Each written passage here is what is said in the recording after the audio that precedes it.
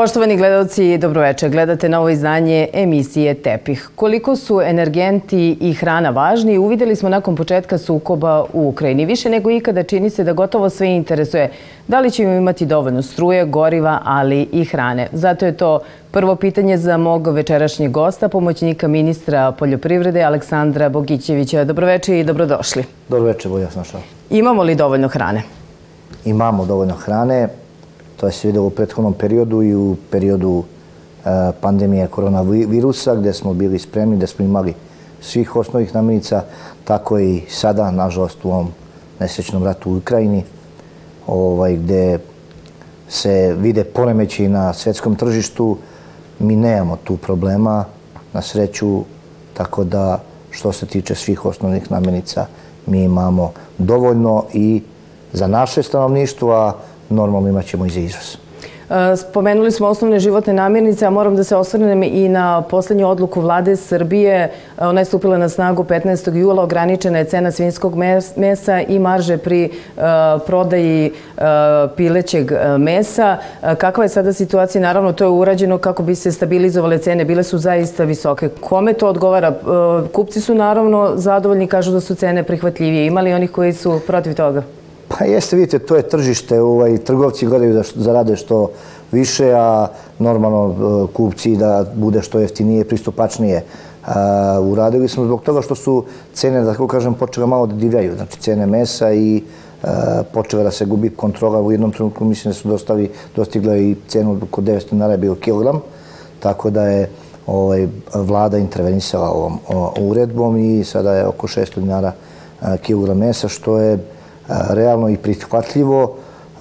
Normalno, javljaju se građani da kažu da su ovaj, mesare sklonile meso, da nema mesa i tako dalje. Međutim, onaj ko hoće da radi, da zaradi, on će to meso koje ima i prodati, ali mislim svega tu ima. Normalno, malo pre sam rekao, trgovci hoće da zarade, kupci da bude što jeftinije i pristupačnije i to je ta borba na tržištu, ali uvek za sve, za sve ima ovaj e, lek, tako da se nadam da će ovaj ova uredba uroditi plodom i da će e, se meso kupovati po pristupačnoj ceni, kao i treba, što što je za građane. Da, proizvođači mesa, da li su oni imali neke primetbe na ovo, da li je to uticalo na pa vidite, ovaj, cenu? Gledajte ovako, cena je skočila, međutim, cena žive vage nije nikad ne prati ovaj tu cenu u maloprodaji i proizvođači ovaj, e, koliko puta u zadnjim godinama su bili i s pravom ljuti, manja cena žive vage, a sve veća cena u mesenama, tako da je taj bio e, disbalans, ali e, sada je ta cena povećana, nažalost sve manje je iz točnog fonda, ovaj, tako da mislim da su donekle tu svi zadovoljni uvek, kažem, ima oni koji nisu, ali mislim da po sadašnjoj situaciji svi tu sada negde gledaju svoj interes i da, da tu ima neke zarade. Naravno, ulja šećera ima dovoljno. Čuli smo ministra Nedimovića, pre par dana je rekao da je i situacija po pitanju tih e, namirnica e, pod kontrolom. Imali smo problem sa šećerom pre par meseci. E, jeste, i tih namirnica ima. Pa, kažem, to vam, to vam je sve do, do tih trgovaca, trgovačkih kuća koje ovaj, se nadajući da će ta cena da skoči enormno, da nema države, da država neće reagovati, te ovaj, lageruju te namirnice i zbog toga dođe do, do nestašice te namirnice. U, u, u pravu ste pre dva meseca, možda meseci po dva je bio taj problem sa šećerom gde je neko negom nagomilao ne znam koliko hiljada tona, tako da je došlo do, do, do, do zbog toga do nestašice, a ne zbog toga što šećera nema. Znači, e, kažem, isto i sada se javlja u nekim mesanama kao nema mesa.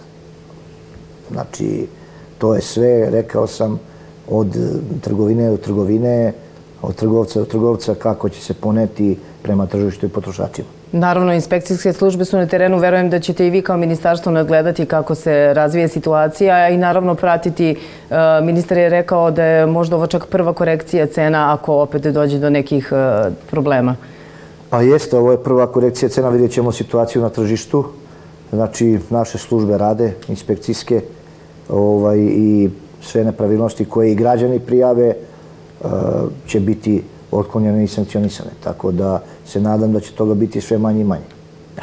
E sad moramo da se vratimo na Idemo na polja, da tako kažem. Imali smo dva toplotna talasa u junu mesecu, ništa bolje nije ni u julu. E, kažu poljoprivrednici, evo ja sam juče bila na jednoj od parcela, kažu da je e, kukuruz već u jako lošem stanju. Da li ste imali priliku da obiđete neka polja? Pa ajmo da krenemo od pšenice gde je ovaj, žetva i, i, i završena. A, posledice suše se vide i po prinosu ove godine. Prošle godine smo imali prinos a, u prosjeku pšenice oko 6,3 hektara. Ove godine je nešto oko 5. Znači, odmah vidimo a, manji prinos zbog sušne godine i zbog ovih klimatskih promjena. A što se tiče kukuruza, on je imao te neke svoje faze, međutim sada a, kada mu treba a, kiše, kada mu treba navodnjavanja, a, dolazi do toga, kako oni kažu, uvrtanja lista i tako dalje, do tog, kako bih rekao, rasta u razvoju i to će vjerovatno biti problem pri prinosu, kao što smo imali i kod, kuku, kod pšenice. Znači, u odnosu na prošlu godinu, kažem, eto, za, u prosjeku za tonu i 300 kg je manji prinos. Sačekat ćemo, kažem, do branja kukuruza, ali su ovo sada ključni meseci. Ovaj juli i avgust, ako ne bude kiše, mislim da će to biti veliki, veliki problem. Ovaj, tako da ono što ministarstvo radi ovih zadnjih svih godina, to je navodnjavanje. I to je jedini, jedini ovako neki vid borbe kako se boriti protiv e, suše i klimatskih promjena. Ti sistemi za navodnjavanje, naravno, to nije ni malo jeftino. Na koji način ministarstvo može da pomogne poljoprivrednicima da ih nabave, da li kroz neke subvencije, ako već sami poljoprivrednici to ne mogu da urade? Pa vidite, mi imamo već u merama ovaj, nacionalnom uh, i uh, bušenje ovaj, bunara kao subvenciju koju raspisuje uprava za zemljište i imamo ovaj, u merama, nacionalnim merama kod mene u sektoru za razvoj imamo znači, sisteme za navodnjavanje za, i za ratare, i za voćare, i za sve ovaj, ostale poljoprivrednike, tako da mi dajemo tu subvenciju od 50%. Znači, ima mogućnosti, većina ovaj, e, voćara to primenjuje i zato su prinosi takvi gdje su ovaj, ratari, to je malo ovaj, drugačije i teže, veće su i površine, ali ovaj, e, mora se raditi na tome da da, da ovaj, se ti sistemi nekako nabave, a imaju mogućnosti. Znači imaju mogućnosti koji ima velike površine, a, ima i veću zaradu od ratarstva i mislim da uz pomoć države koju dajemo da može to da pribavi i a, jedan podatak samo, samo negdje oko 120.000 hektara se navodnjava od 2 miliona. Da. Znači, to je nešto što je poražavajuće na čemu treba raditi u narednim godinama. Jer vidite, svake godine klimatske promjene, znači klima se menja, imate svake godine sve duže i duže suše, da tako kažem. Tako da a, to je jedino što, što možemo ovaj, da, da predupredimo nekako da se borimo sa sušom. Dakle, poljoprivrednici sada moraju da, da razmišljaju i u tom pravcu, da tako kažem, zaista klimatske promjene su jezive, da bi bilo proizvodnje ne samo na poljima, već i u voćnicima. Jednostavno, ovaj sistem mora da se primeni. Rekli ste, imaju pomoć od države, 50% nije malo, pa naravno moraju da ulože da bi bilo zarade. Spomenuli ste završena je žetva pšenice. Pričalo se koja će biti otkupna cena. Otkupna cena je 40 dinara, povećana je cena. Međutim, neki su tražili 50 dinara. Kažu, poskupila je setva. Država u ovom trenutku vjerojatno ne može da ponudi tu cenu, odnosno ponudila je 40. To je to. Vidite, ovako mi smo kao vlada Republike Srbije ponudila cenu 40 dinara ovaj, sa PDV-om i mi ćemo otkupiti 131.000 tona ovaj, pšenice za robne rezerve. Pa jeste, tu sada imate raznih ljudi koji žele, nažalost, i ovakvu situaciju da iskoriste, a neki imaju i s razlogom. Međutim, vidite, ovaj, situacija je takva na tržištu. Druga stvar, ova žetva je rađena prošle godine. Mislim, setva. Nisu bile te cene ni džubriva, ni, ni goriva kao što su danas. Tako da je bilo prošle godine 22 dinara je bila cena pšenice. A ove godine evo 40, 36, 38, 34, sve zavisi kako je ko otkupljivao. Jeste sve poskupelo, ali i ta cena je nekako rasla. Znači, možda nije dovoljno 40 dinara, ali sada u ovom trenutku to je nešto što država je mogla najviše da ponudi. I moram da vam kažem, te, ti zahtjevi i te priče o 300-400 evra po hektaru, što su sada dane ovaj, i neki poljoprivrednici traže, neke udruženja i neke u prošlosti političke stranke i tako dalje, tu mora se vodi računa o svima. E, znate, to je važno za ono ko se bavi ratarstvom, pa će mu tih 300 evra ovaj, po hektaru ovaj, značiti. A šta ćemo ono, za ono ko se bavi voćarstvom? Šta ćemo za ono ko se bavi stočarstvom? Šta ćemo za druge? Znači, e, moramo misliti o celokupnoj poljoprivredi. E, svi samo misle o, sebi i o svom delu ovaj, e, kako da to promeni i domeste. Međutim, mi moramo gledati poljoprivredu u globalu. Nama su sve grane poljoprivrede važne. I sve grane i svake godine neka nova grana iskoči, kao što je organska poljoprivreda, gde smo mi kao zemlja vidjeli šansu i da imamo veliku potražnju u svetu. Tako da o svim granama poljoprivrede se mora voditi računa.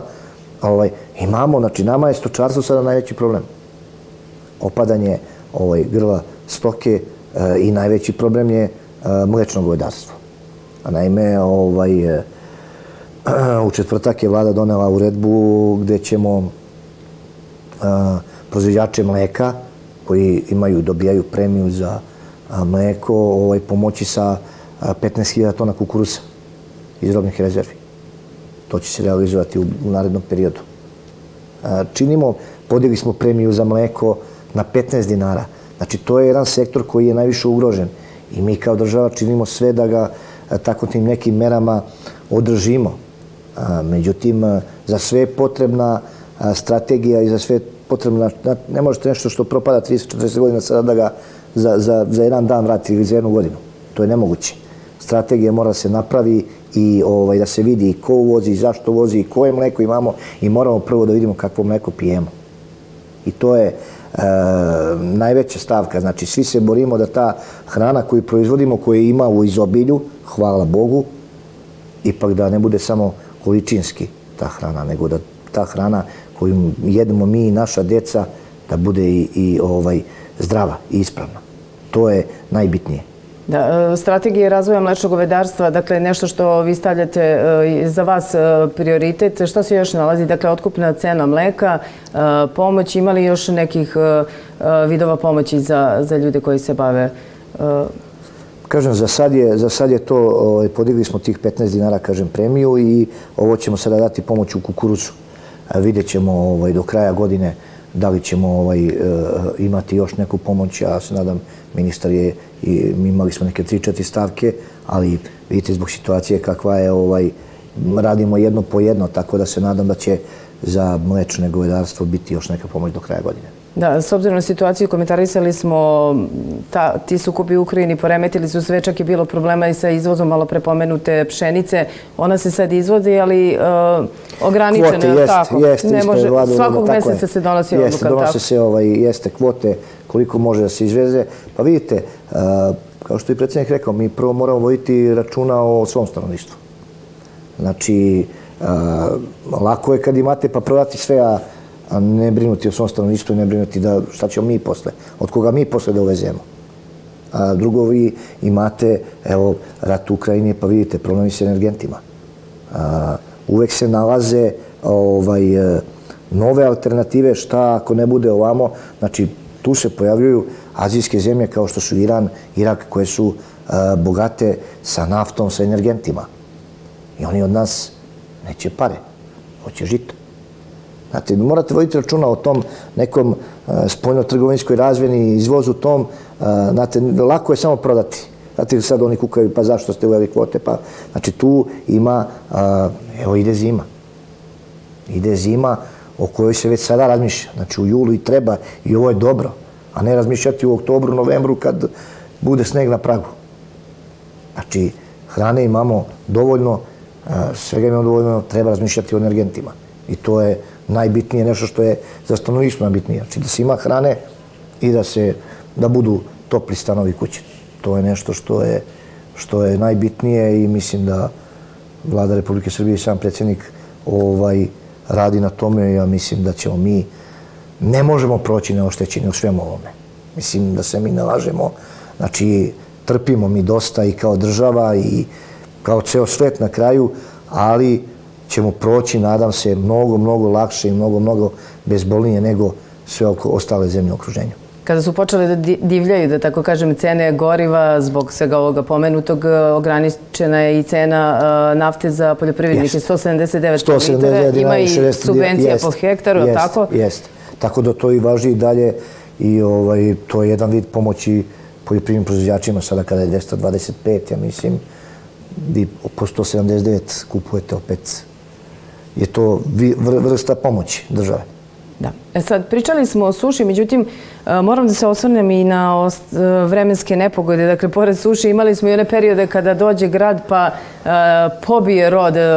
U Arilju šta se dešavalo? Svedoci smo bili, ja ne znam da li je tamo išta ostalo od roda, ali me interesuje zna da je i ministarstvo i vi dok ste bili ovdje u Obrenovcu u, veću predsjednik komisije za poljoprivredu da se e, često pokušavali da ljudima kažu koliko je važno da osiguraju useve, da se na, bar delimično nadoknadi šta šteta. Koliko su ljudi promenili svest o tome da je važno osigurati useve? Nažalost, vrlo malo. Ja moram vam kažem da smo po strategiji koju smo radili pre dve godine, ovaj, osiguranje u poljoprivredi, došli do saznanja da 3-4 posto fizičkih znači, lica poljoprivrednih gazdinstava osigurava bilo koji vid poljoprivrede. I nekih 12, 13 do 15 posto privrede. Što je najniže u regionu, moram da vam kažem. Mi kao država, e, znači imali smo do pre dve godine taj program subvencionisanja premije osiguranja od 40%, 45% do 65% u uslovima sa oteženim uslovima u poljoprivredi. Međutim, to je, vidite, vrlo malo korišteno. U pet regiona pre dve godine, koja su najviše i koja najviše pogađaju, a pomenuli ste malo e, pre taj region. Znači, Aride, Ivanjica, Požega, Kosjerić, e, ceo taj e, deo tamo, a mi smo uveli znači, premiju koju država daje ministarstvo od 70%. Znači, tih pet regiona gde najviše ima ovaj vremenskih nepogoda imaju 70% premije osiguranja ne znam šta više. Uz sve ono što mogu da dobiju od ministarstva, to su protivgradne mreže, znači sve ono što može da se spase, ovaj, sada imamo znači, i, i tu e, automatsku protivgradnu zaštitu, znači koja već, evo imamo ovde u, u Valjevu, Kolubarski, taj deo pokriva i treba se završiti ta u Bosni, koja će, jer mi se štitimo iz Bosne, znači kad se završi ta, ovaj, u Zvorniku, ta protiv, automatska protivgradna stanica, onda će biti mnogo, mnogo lakše. Znači, kao država dali smo premiju osiguranja 70%, imaju mogućnost nabavke protivgradnih mreža, imaju od lokalnih samouprava još po 10-20% za osiguranje i tu su mogućnost dali. Tako da u nekim lokalnim samoupravima imate 90% osiguranja. Znači, samo 10% treba poljoprivredno plati. I, pored svega toga što je država ovaj, dala i pomogla, vi imate nekih 1%, 1,5% povećanje osiguranja na na, na, ovaj, na godišnjem nivou. Što se tiče fizičkih znači, lica. Što je veoma malo. Tu sad ima znate, raznih e, ovaj, priča, ne znam, osiguravajuće kuće se pradaju sa ovim e, poljoprivredni proizvođači kažu da e, ovaj, procenitelji dolaze vrlo kasno na teren, da posle toga ovaj, se oporave biljke, ne znam, sve zavisi od strukture proizvodnje, da oni onda vrlo malo procene štetu i tako dalje i tako dalje. Tako da je to neko nepoverenje ovaj, stvoreno i vrlo teško, pomalo, mi u sve ovo, kažem, programe koje imamo kao ministarstvo, moram da kažem da je vrlo malo. Neko će reći, pa vi radite za osigurajuće kuće. Pa ne radimo, nego samo hoćemo sebi da samo kad smo već dali te mogućnosti, da se ne desi kao vremenske nepogode u Arilju, u Ivanci, oni dolaze ispred opštine i dolaze ispred ministarstva. A šta ćete kod nas kad smo vam dali sve? Znači, dali smo vam mogućnosti. Tako da onaj ko se bavi ozbiljno poljoprivrednom proizvodnjom i koji zna šta je, kad ga zadesi, e, ne znam, vremenska i suša i gradi i tako dalje, tako dalje, taj osigurava, sigurno. I ima protivgradne znači, mreže, one prave. Ima protivgradne mreže koje jeste, koje, znači, ko hoće i ko, koji zna rizike, znači, i koji hoće da uloži. Znači, znate, svi očekuju, daj samo da dobijemo, dobijemo, dobijemo. Znači, mora da se uloži. I ljudi koji to znaju, a ima ih dosta, ovaj, oni ne misle. Oni ne misle i ne gledaju u nebo da li će pasti, da li neće i tako dalje i tako dalje. Tako da, e, mnogo mogućnosti je dala država, je sada je samo na poljoprivrednim da to i da ostvare to, da uzmu. Da. Nedavno ste, e, odnosno vaše ministarstvo je pokrenulo elektronsku prijevu sezonskih radnika. Moramo to da spomenemo. Šta dobijaju poslodavci i šta dobijaju radnici? Čini mi se da pokušavate da je uredite i, tu oblast na, na ovaj način. Pa vidite, mi smo tu priču pokrenuli pre jedno dve i po godine u saradnji sa Naledom, ovaj, gde smo napravili tu platformu i moram da kažem da je ovaj, svake godine sve veći i veći broj a, prijavljenih a, sezonskih radnika. Šta se dobilo time? Pa dobilo se da onaj koji ih unajmljuje ovaj, za nekih 300 dinara dnevno prijavio je čoveka i na ne bože nešto se desi, taj čovjek ima ovaj, i socijalno i znači ono što je najbitnije da, da, da bude u sistemu i da možda mu se pomogne, ne bože. Tako da je to nešto što je, što je ovaj, i normalno njima ide i radni staž i tako dalje i tako dalje. Tako A i poslodavac ima problem pomoć od države? Jeste, jeste, ima pomoć od države. Znači, e, ja mislim da je oko 300 dinara dan ovaj, kada prijavite tog sezonskog radnika. Da. Sad, recite mi, od kada ste počeli da radite u Ministarstvu poljoprivrede, nekako čini mi se da je prvi korak bio i kontakt sa poljoprivredno-savjetodavnim stručnim službama. E, bilo je nekih reorganizacije. Kako ste sada zadovoljni e, koliko savjetodavci dobro obavljaju svoj posao i pomažu poljoprivrednicima, što je njihov posao zapravo?